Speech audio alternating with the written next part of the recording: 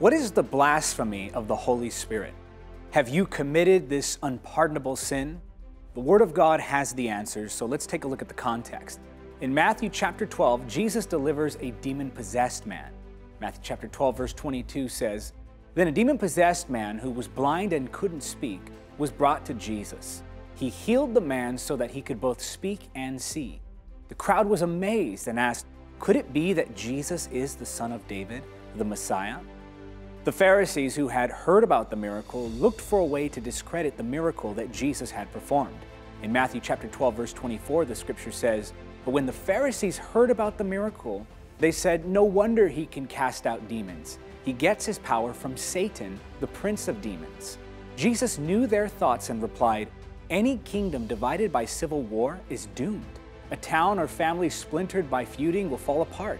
And if Satan is casting out Satan, he is divided and fighting against himself. His own kingdom will not survive.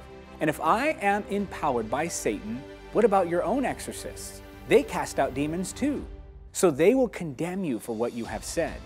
But if I am casting out demons by the Spirit of God, then the kingdom of God has arrived among you.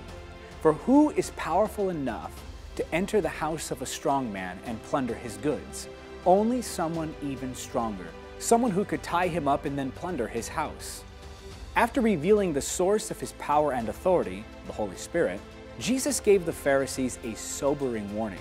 Matthew chapter 12 verse 30 says, "Anyone who isn't with me opposes me, and anyone who isn't working with me is actually working against me."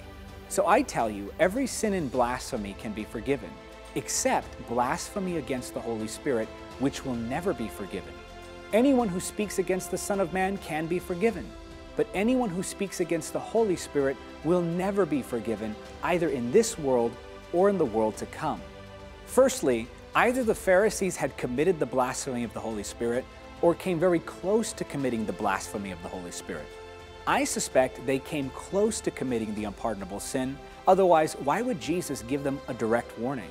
Secondly, look at the term that's used here blasphemy. Blasphemy is a sin that you commit by speaking something.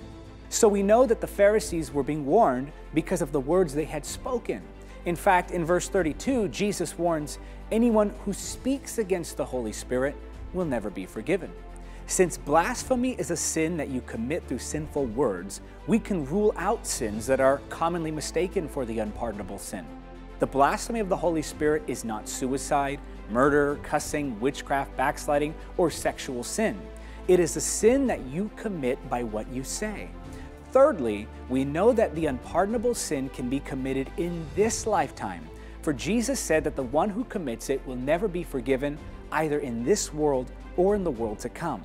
Some say that the blasphemy of the Holy Spirit is simply the rejection of salvation or the stubborn refusal of the gospel up until death.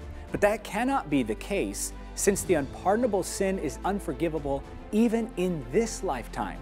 So the blasphemy of the Holy Spirit is most certainly not just the rejection of salvation or the gospel. So, judging by what Jesus said to the Pharisees, we can conclude that the blasphemy of the Holy Spirit is speaking against the Holy Spirit or the attributing of the Holy Spirit's power to demonic power. On this thought, it's important to add that this sort of speaking against the Holy Spirit is a very deeply rooted act. And remember, we still don't know whether or not the Pharisees had actually committed it or were merely coming close to committing it. The biblical text implies a very deep rooted form of sin. You can't commit the blasphemy of the Holy Spirit on accident. Yet we should still tread carefully. After all, I don't want to inspire ease where Jesus sought to inspire fear. So, this is very important to note. Not all verbal expressions of skepticism, anger, disobedience, or disrespect toward the Holy Spirit can be categorized as the blasphemy of the Holy Spirit. The blasphemy of the Holy Spirit can only come from a conscience that is completely seared. I'll prove that to you with Scripture now.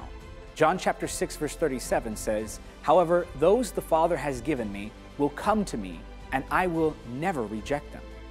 Nobody comes to Jesus unless they are drawn by the Father. And the Father certainly would never draw someone who couldn't be forgiven.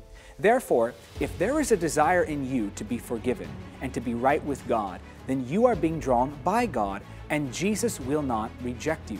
Comparing Scripture with Scripture, we discover that A, it is not possible for the Spirit filled believer to commit this sin, and B, those who commit this sin couldn't possibly have any interest in repentance, nor would they have any fear of having committed the unpardonable sin. All Scriptures have to be harmonious with one another. So think about it this way if someone commits the blasphemy of the Holy Spirit, then they will always be rejected by God. And Jesus promised never to reject anyone who comes to him, because those who come to him have been drawn by the Father. If the one who committed the unpardonable sin ever came to the Lord, then the Lord would have to break his promise of never rejecting anyone who came to him. Therefore, the one who has committed the unpardonable sin would never approach God in the first place. Indeed, such a person has no desire to ever again approach God. Bottom line, are you afraid that you may have committed the unpardonable sin? That fear alone is proof that you haven't. I'm David Diga Hernandez, and that is your moment of truth. For free weekly content like this and more, sign up to my emailing list by going to davidhernandezministries.com slash email. Thank you for watching Encounter TV. Don't forget to subscribe and click the notification bell.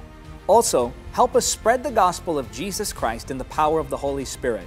Make a one-time donation or become a monthly supporter by clicking on the donate link now.